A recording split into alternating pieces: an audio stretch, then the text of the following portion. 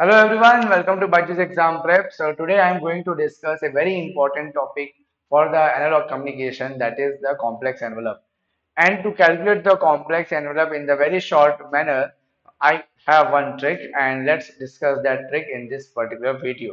So uh, coming to that, uh, before starting, uh, let me introduce myself. So this is Saket Verma and I'm having more than 13 years experience in the field of teaching GATE and ESE and my qualification is MTech from IIT Guwahati and I teach these subjects so you can check the area of my expertise. Now coming to the complex envelope, we generally calculate the complex envelope only for a bandpass signal. Okay, so if you have any bandpass signal, because we know that any modulated signal are bandpass signal like uh, amplitude modulated or frequency modulated or any other uh, modulated signal are called as a bandpass signal because we translate the uh, lower frequency signal into higher frequency signal. So uh, if you have a band pass signal, then any band pass signal can be represented by this particular expression. Okay, so when you have any band pass signal given, then definitely you will be able to uh, convert this into this form, uh, convert that equation into this form because uh, it is a band pass filter, a band pass signal. So you will definitely be able to write, and you have to do some mathematical manipulation. Then uh, one will be the cos omega ct and sin omega ct means the quadrature component should be there and the frequency must be same. So the coefficient of cos is called the in phase component and the coefficient of sine is called the quadrature component. And if you want to write the complex envelope directly, you can write by using this relation. So once you find the in phase component and the quadrature component, just you have to write in, in the form of a complex number.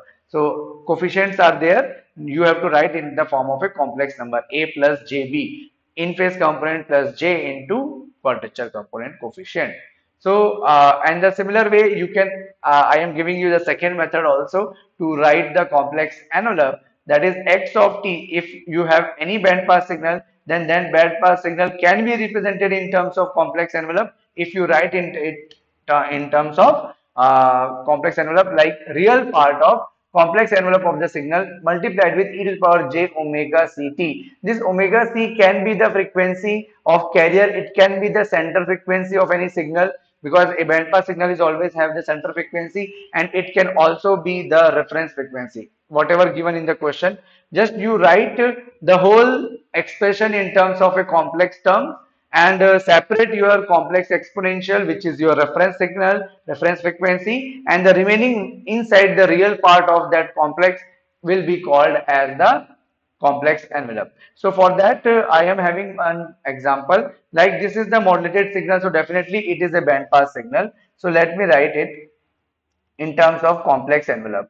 So I want to write it in terms of exponential. So we know that e to the power minus at and how can we write the cos? This is e to the power. Okay, how can we write the cos signal? That is nothing but the real part of e to the power j into omega c plus delta omega into t and then bracket closed and ut okay so you can write in terms of reference frequency because it is a modulated signal the reference frequency will be the carrier frequency. So if you take this e to the power minus at inside and you separate your carrier frequency then it is j delta omega t and you can write this ut also inside this real part because it ut is a real signal only. So it is having the real part uh, it, either you write it in the inside the real part or outside it does not even matter. And then it is e to the power j delta uh, j omega ct.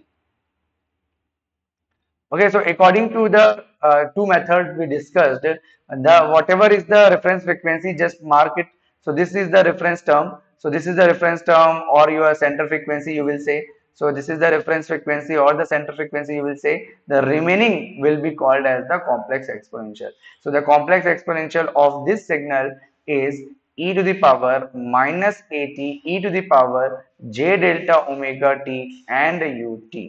Okay, so this will be the complex envelope. So if you check the options, then we have the e to the power minus at e to the power j delta omega t option B. So option B is the right answer. So in this way you can solve and I have given you the second method. So this is the second method by which I solved. I have given you the first method also in which you write this whole expression, whole exponential in terms of a coefficient of in phase and quadrature component and then check that whether you are getting this answer or not and in comment in the comment section then I will explain you. Uh, similarly, I will come with uh, come again with some small trick of any other topic from the communication signals and EMFT. Thank you for watching this session. Don't forget to subscribe the channel and let's meet in the next video.